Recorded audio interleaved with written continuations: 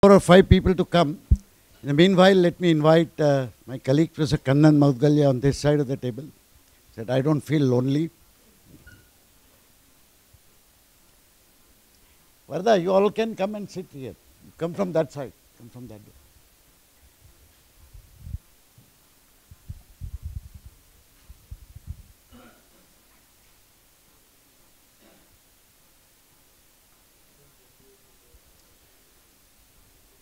All right, so once again, a warm welcome.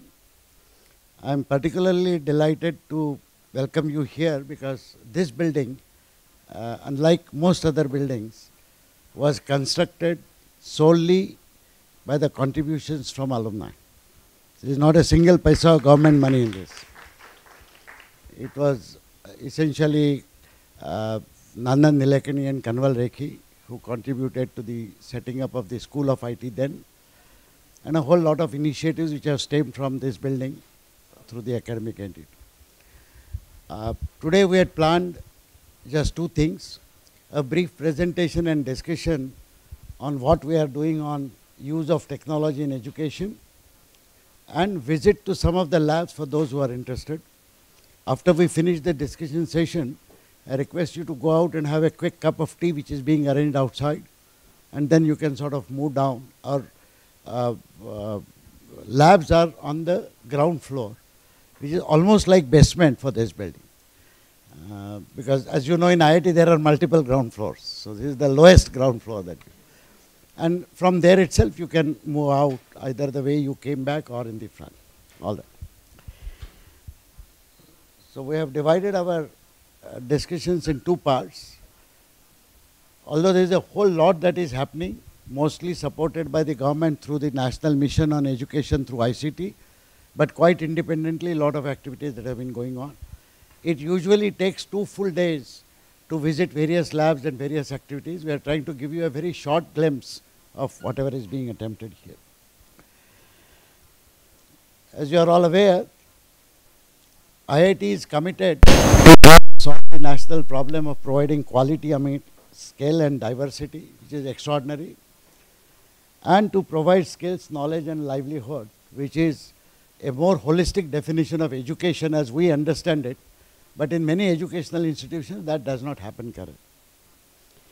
We believe that education technology holds an extremely important promise to reach out to this large scale of masses. Learning resources such as Wikipedia and many others are still mainly available in English and not in Indian languages. That is another dimension which we are perpetually addressing and it will take far more efforts than just one institute's effort anyway. So content delivery and access and then finally teaching, learning and assimilation are the steps. We started our forays by trying to develop clicker devices which you would have seen. Uh, in India they are not very popular but these are the devices which were used, for example, by Amitabh Bachchan in Kaun Banega Crorepati to get the opinions of the audience. We felt that if we could get the opinion and the knowledge of the students tested live during a classroom, then it will give a teacher a chance to immediately address any lacuna. So if I observe that 70% students are answering wrongly, I can immediately give a new example and explain that which is not possible if I depend on the conventional tests, which will tell me two weeks later how weak the students are. Uh, since the foreign devices were costly, we decided to design them here. This first device was designed and developed and built in about 673 rupees here in the Affordable Solutions Lab. Then we provided a small screen here. In the second device, cost us about 1000, by far the cheapest devices. Subsequently, when we worked on the Akash tablet project, we actually migrated the clicker application onto Akash. And the Akash tablets are routinely being used not only here, but in many other colleges where we have distributed those tablets for conducting live quizzes in the classroom. Professor Kannan probably is the best expert of using these devices. For last five years, he has been running flipped classrooms for his class, uh, ensuring a much greater engagement and he uses these to ensure that the students are actually attentive.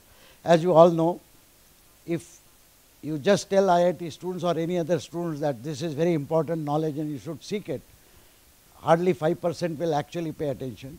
But if you say there is a half mark quiz associated with it, probably 100% will pay attention. So we do that in most of our classes which use flipped classroom. We have this half mark, one mark quiz every day on the material that is discussed during that class itself and that proves to be useful.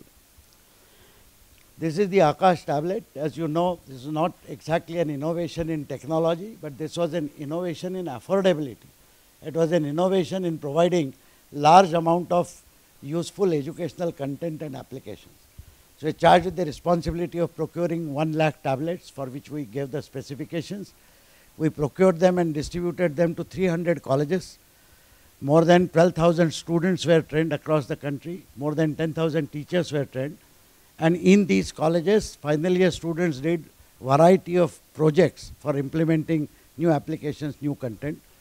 All of them are made available as a policy in open source released under Creative Commons license and they are all available on uh, aakashlabs.in which is the uh, portal you can easily search for it. Any student not only in India but anywhere in the world can download those apps. All of them work well on Android and all of them work well on Linux as well. In fact, one of the objectives was that we will not limit ourselves to only one operating system. And this was Professor Kannan's idea to provide not only Linux on the device, but also to provide engineering experimentation using additional attachments to it. So this is one such experiment where his team had designed a small circuit called Anudino, Anu for small. Is based on the Arduino, which is a open source, uh, uh, well established platform. You can see that a temperature curve is being drawn here. There is a small temperature sensor here and this whole additional device including the cable costs 90 rupees only. So we have been committed to provide inexpensive experimental tools for large number of people, not necessarily to college students, but even for the school students. As I told you, uh, many applications are ported onto Akash. So Scilab, which is the equivalent of the commercial product MATLAB, works perfectly well on Akash and therefore on any Android and on any Linux machine. We have a great initiative across the country called virtual labs to provide experimentation through remote labs. This is being coordinated by IIT Delhi, but a large number of people across all IITs are participating, including IIT Bombay. If I am not mistaken, about 8 or 10 people, Kannan, who are working on, huh? 14, 14 faculty members in different disciplines are working on these virtual labs here. There are open source content being created by NCERT, which are being made available to all students. Uh, NCERT, as you know, is the institution uh, meant for R&D in school education. Now, this is about content, but content alone does not translate into knowledge. My favorite axiom is that if access to quality content meant knowledgeable people, then librarians would have been the most knowledgeable people in the world. And there is no evidence to show that. So knowledge acquisition is actually the act of an individual mind. When the mind is applied, when discussions happen, when activities happen, then people learn. Towards that, we said that teachers are important and we should concentrate on training teachers in engaging students. So we started a T10KT project, which stands for training 10,000 teachers at a time is built on the scaling up of a model of QIP programs where we typically train 35 to 40 teachers in a two-week intensive course.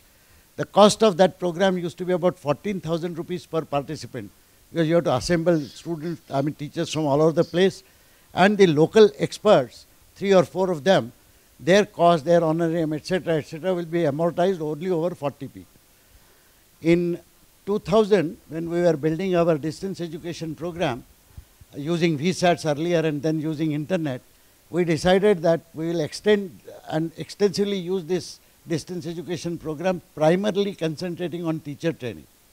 So we made a proposal first to TIFAC and then to ministry that we will train teachers in large numbers and we will do so by establishing remote centers across the country.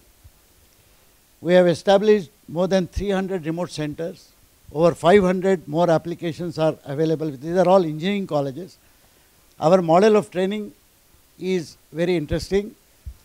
In the morning, these 10,000 teachers who assemble at these remote centers listen to interactive lectures delivered from IIT Bombay or from IIT Kharagpur, which is another hub like us, a partner here. Uh, these interactive lectures are actually two-way interactive. So anybody in Coimbatore asking a question to our faculty here can be seen and heard by somebody in Kolkata and it effectively makes an enlarged classroom for the whole body. In the afternoon, these participating teachers at their respective centers are taken through tutorials and discussion sessions and lab sessions under the supervision of a local workshop coordinator.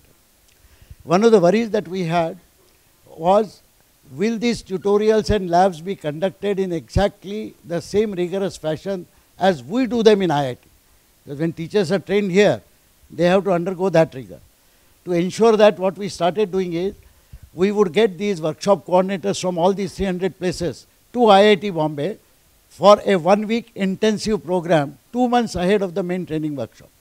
And we will make them go through the same labs and same tutorials with the same rigor and also understand from them the peculiarities of their own teaching of that subject in their respective places. Then they go back, set up those labs, etc. While the labs are being conducted, they are in constant touch with us through the same two-way communication and the queries and answers can be given even during the afternoon session.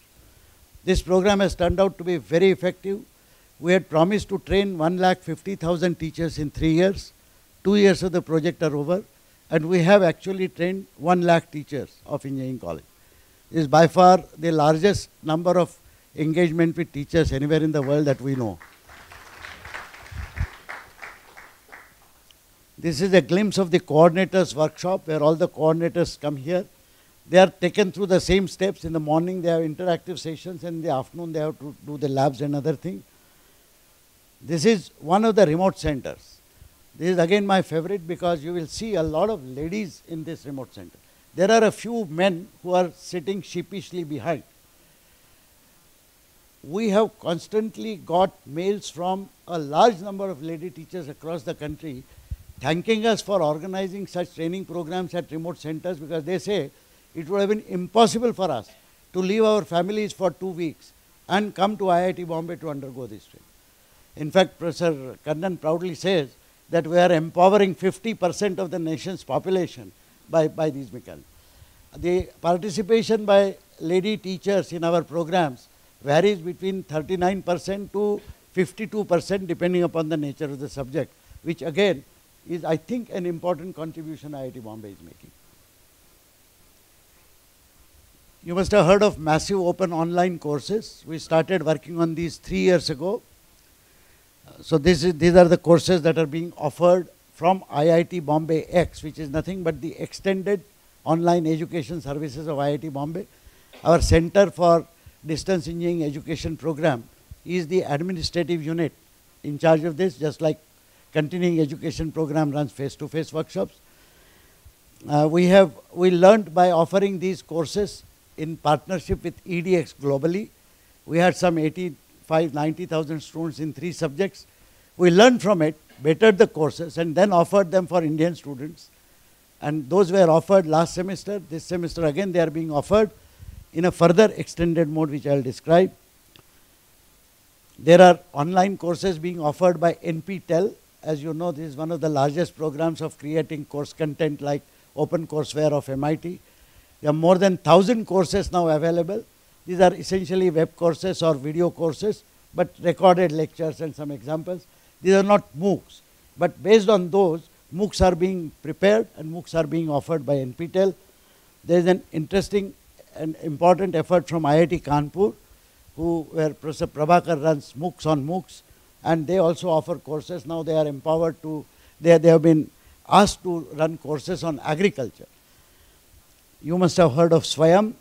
The work on SWAYAM is progressing. CDAC is the organization which has been entrusted with building SWAYAM and it will probably happen in next few months or within a year. The effort is that we must use this technology to reach out to largest number of people effectively scaling the quality as well.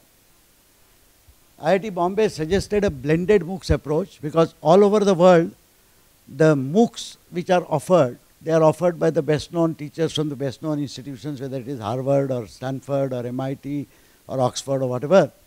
But these are not part of the mainstream. Some honor course certificate is given and people do not find too much value for that certificate because the universities don't accept those grades.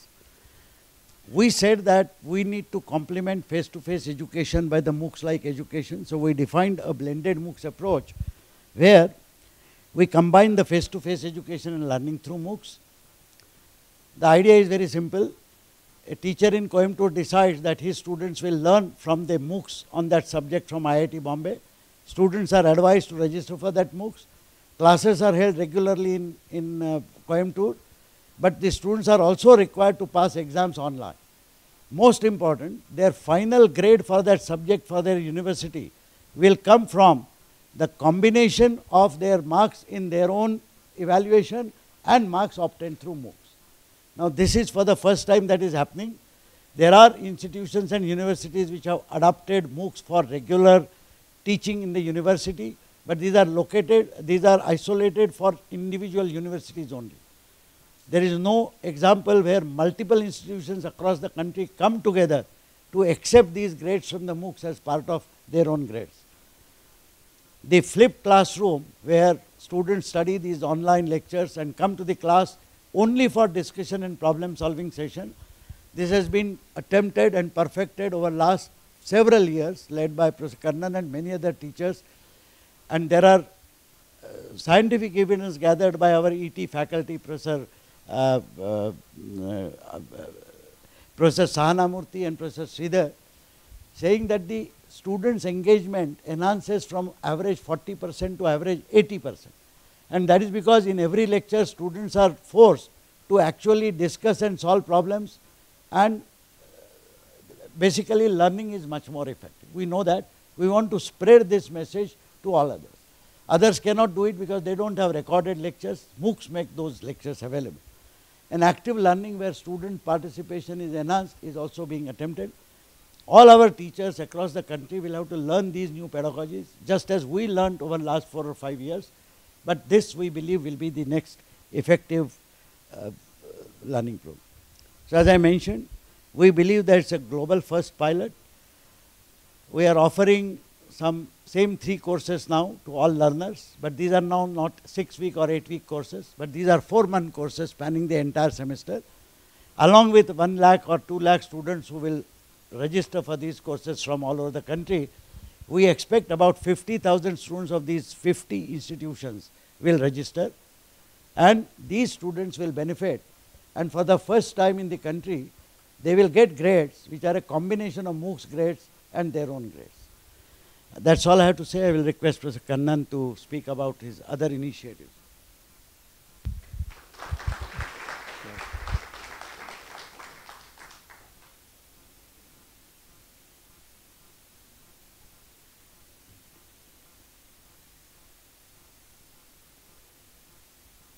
Um, good afternoon. My name is uh, Kannan Moudgalya.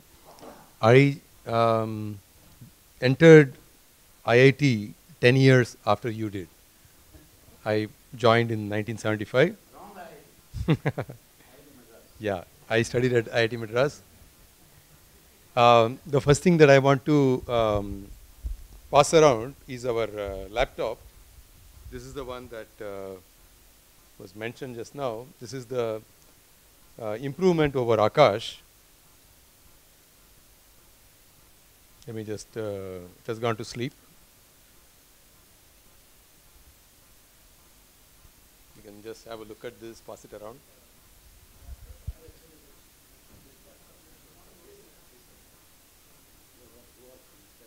Hmm. Yeah, I could have got one more. So this is um, um, what has been advertised as uh, less than $100 laptop. We uh, bought it at uh, 4990 plus tax, below 5000 plus tax. Uh, now, of course, the rupee has devalued further, but still it is about 6500 of the order of. Okay. Uh, but base price uh, was 4990 with taxes, ex excise and so on. It came to 5820 to us. We bought 1000 of them at 58 lakhs. And we are doing experiments to see whether um, it's a good device.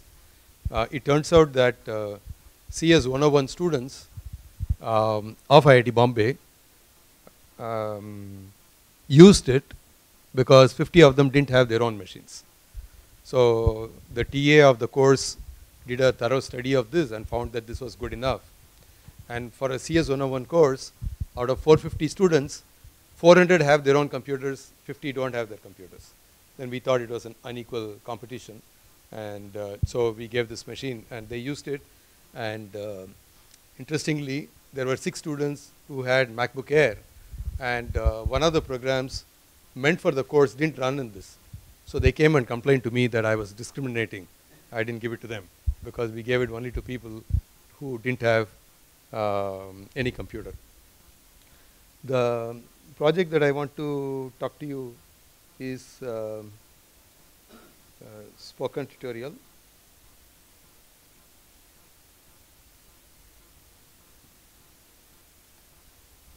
Okay. So before I go to that, I just want to uh, take you to our uh, MHRD's homepage. So this is mhrd.gov.in.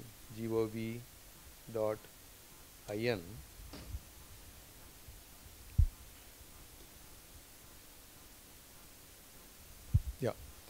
So if you can see, just let's go to the second one, third one. So starting from here, these are all projects. FOSSEE is a project at IIT Bombay. By the way, we are on MHRD homepage. And then uh, design courses, eKalpa is done by uh, my colleague Ravi Poovaiah in IDC. Spoken tutorial I talked to you about. eYantra is uh, done by Professor Kavi Arya. Once again, he's uh, in this building, computer science faculty member. Uh, NPTEL, of course, you know about. T10KT is uh, what Professor Phatak talked about. So out of the six uh, banners on MHRD website homepage, five are offers. Five are being done at IIT Bombay. So that shows that uh, in a very short time, NPTEL of course is a huge affair. It has been going on for a long time, but our projects in a very short time have reached that level. So it is, um, so that's one thing I wanted to talk to you. So let me just go there. I'm a co-PA of this uh, FOSSEE project. Uh, by the way, the OS for that was put together by one of the staff members of the FOSSEE project. In fact, we call it as FOSSEE laptop. Now let me, uh, I can also click here. It will say that do you want to go there? If I say yes, it will take me to my homepage. So we get direct traffic from all over the country. All who go to MHRD homepage will come to our pages. Um, you can see that uh, it, it's an initiative of uh, NMEICT to promote IT literacy through open source software. That's what we do in this project. We called it spoken tutorial because uh, in the year 2007 when I started doing this, uh, there were many silent videos on YouTube on using software and so on. We thought that spoken words were a lot more important. And the other thing, uh, other reason was um, you don't see the video of the person who's speaking. You only see the voice. And of course, you see the screenshot. So uh, that is the second reason to call it a spoken tutorial. Third one, I will tell you shortly why it is. The spoken word is extremely important in our project. Uh, these are all series of um, tutorials. Okay. So let me take. Uh, so various topics, uh, for example, uh, C is the most popular one. Let me see where is C, C and C++. This has been the most popular one. And we also dub this into various languages. Not sure whether audio will come. Let me just see.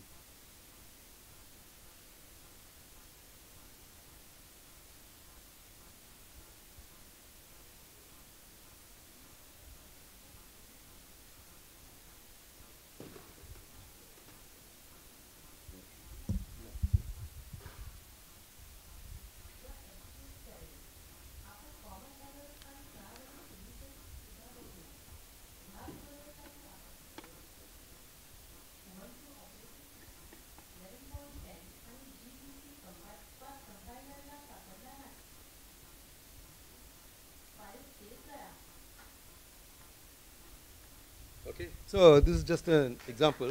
Thank you. Thank you. And of course, what this does is, of course, we have it in English. We start in English and then dub it into all languages. We make this tutorial suitable for self-learning by creating the script first and then subjecting it to through beginners. The beginner has to certify that they can reproduce all the steps. Then we record it. Then we run pilot workshops and so on. And we put in a lot of effort for a 10 minute tutorial. And all the programs required, supposing, for example, in this example, uh, she says, open some file. For example, my first C program, that file is also given here. If you see code files, it's all given here. So in this, it's a it's a complete environment. It tells you the um, the outline of this assignment. It gives slides. It also um, gives this gives the script. Okay, script. Of course, you heard. So, just so here is the script. So we write it in English first. We um, subject it to novice check, we record it, freeze it, and then we translate sentence by sentence, and then ask a person to give the voice, and then uh, overlay this voice onto the original video. So we have this in all languages. Let me show one other.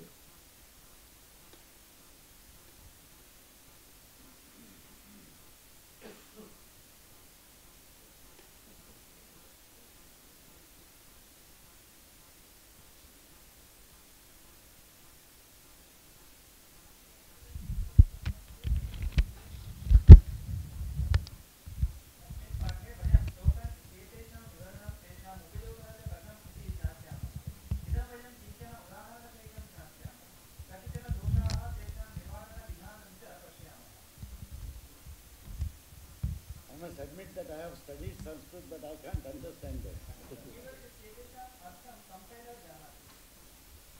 Basically, what it says is that we can provide this technology even to linguistic minority groups, even if there is no expert in that language. And uh, because it is created for self-learning, uh, it is being used in a very big way. And uh, I can show you some statistics here. Uh, we have trained uh, a total of uh, uh, more than 8 lakh uh, people until uh, today.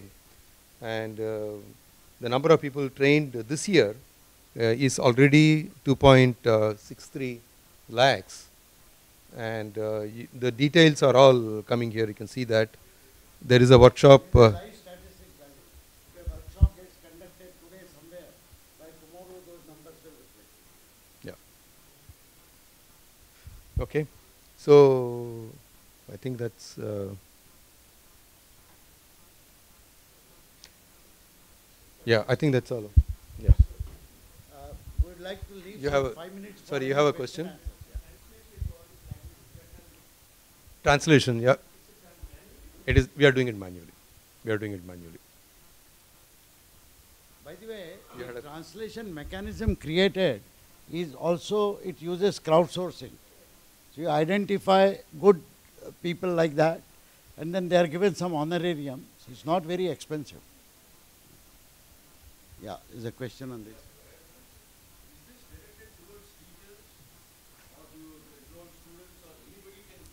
Yeah, so these, as Professor Kannan said, these spoken tutorials are meant for self-learning.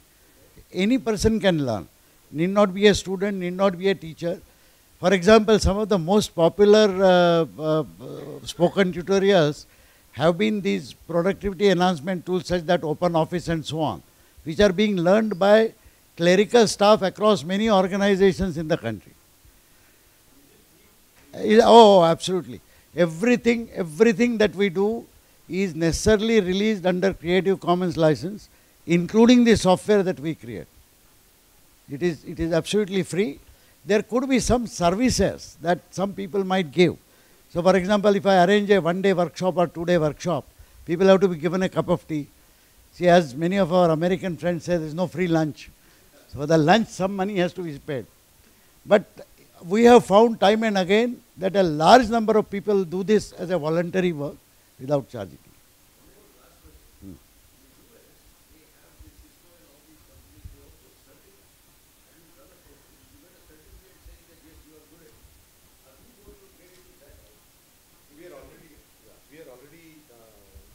Online uh, tests, typically about 25% of the people take this, take undergo test. The reason is, um, one of the reasons why we could do this in big numbers. For example, there are days when 1000 people undergo training on a single day across the country in uh, maybe 15 different locations. The reason why that happens is we have come up with a method. If you look at uh, this software training, uh, there is something called create your own disk image.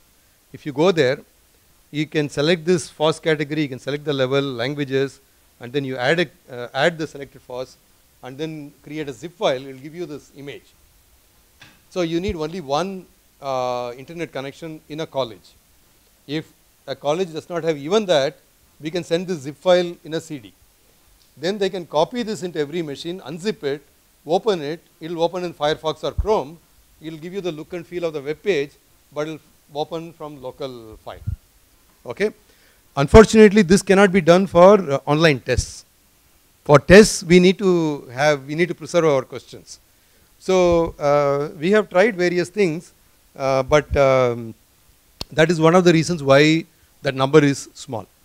Yeah. But uh, assuming that internet uh, facilities, their connection is there, uh, we have the thing in many topics. The IIT Bombay X, which necessarily conducts evaluations online, uh, that platform will now be used to conduct such tests as well. Although we are not very clear how valuable these certifications would be. So it all depends upon the acceptance by society and the employers and so on. Uh, well, for me, as I shared with you, after I leave IIT, I am committed to work for 10 years for school education. But the institute is not letting me go. So next year, when I actually retire the second time, I'll start working on that. Uh, there is already a primary school project in Madhya Pradesh to engage primary school students into active learning. Our industrial design center is participating in designing the curricula from a different point of view. We are giving 700 Aakash tablets to those schools to do that experiment. In using Aakash, we have actually done a school pilot, but for ninth standard students to teach them science and maths. But these efforts need to scale up. And scaling up, frankly, I don't believe that scaling up should happen entirely through government funding. There has to be an ecosystem which will evolve and that will only spread across the country. I am hoping that it should happen soon. I will also tell you something that for education technology interdisciplinary program, where we have been hiring faculty, and the director, Professor Devang Khakhar, gave directions to me and uh, Sridhar Iyer when we went to meet him. He said there is no need to restrict employing only those faculty members who work in higher education you should employ education technology specialists who work in school education also because education technology spans all boundaries. It's a very wise decision by the institute and we'll be looking forward to such faculty members now. Uh, I have on the screen a review done by uh, Midday um, on our laptop and uh, they have given, of course, uh, they have not given any special concession because it is a low cost laptop. Uh, they have uh, reviewed it on an absolute basis. For example, when they talk about uh, performance, they say, oh, it is not that good. But then what do you expect from this machine and so on? But uh, when, it, when it comes to operating system and apps, which is what we developed, they have given 9 out of 10 if you can see. And connectivity, all the ports and so on, they have given 8 out of 10 and overall rating is 7.1 out of 10. This compared to all laptops that they have evaluated. So we are quite happy with this. Yeah, and so now uh, we are, yeah, sorry. Yeah. Uh, we are actually uh, asking ourselves if IIT Bombay students can benefit, CS 101 students of IIT Bombay can benefit by this machine, why not extend this to the CS 101 students of other colleges. And then, uh, in fact, I talked to somebody in Google to today whether they will be interested in supporting this.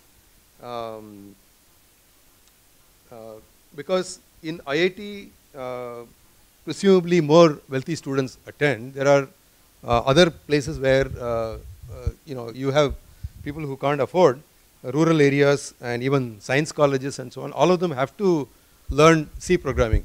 Actually, Professor Phatak said that the most popular one is uh, uh, Office software. Actually, the amongst the students, the most popular software is C programming.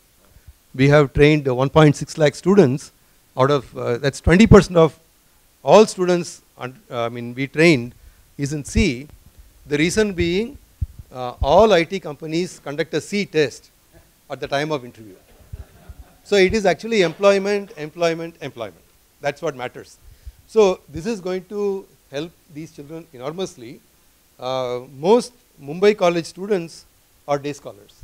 So if they get a doubt at, at, in the night, so they might have a computer in the lab, but they have to wait till the next day.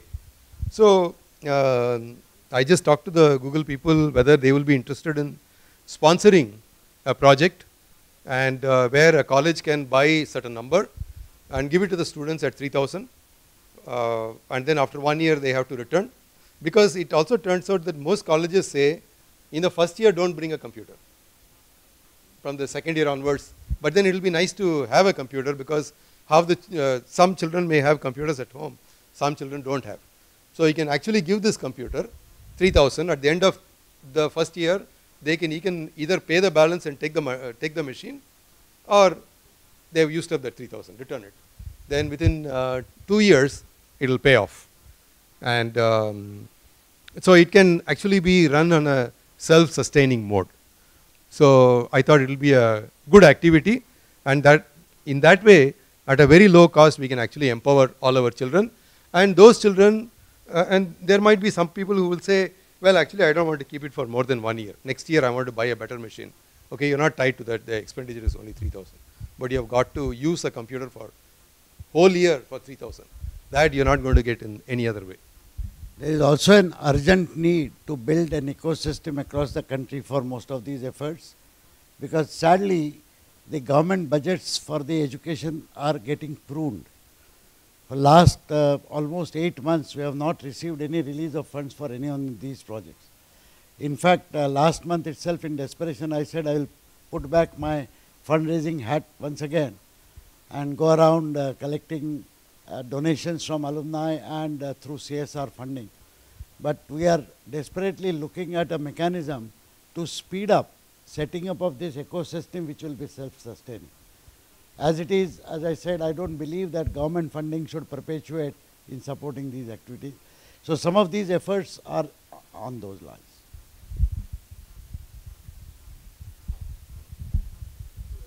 Thank you. So I'll request you, there is a cup of tea just outside. Uh, you can, of course, exit from either of the doors. Please do have a cup of tea. And on the ground floor, there are two labs, the video lab, video editing lab, and our Aakash lab, the Affordable Solutions lab, which Kannan heads now are open. Those of you are interested can go down on the zeroth floor on the lift. And as you walk towards that other door of entry, just around them, those are the labs there. You're most welcome. Thank you so much. Thank you for coming.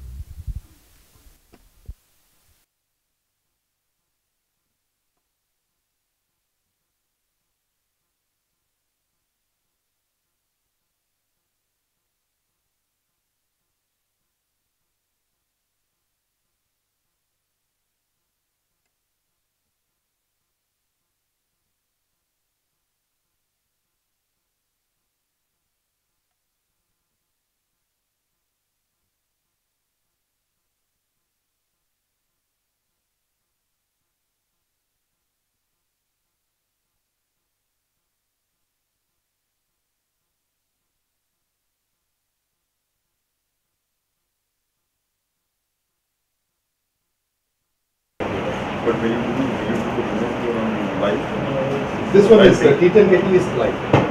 Uh, what uh, the teach uh, trained 10,000 teachers that Mr. Patel talked about, where he said that uh, 1 lakh people have been trained, another 50,000 will be trained.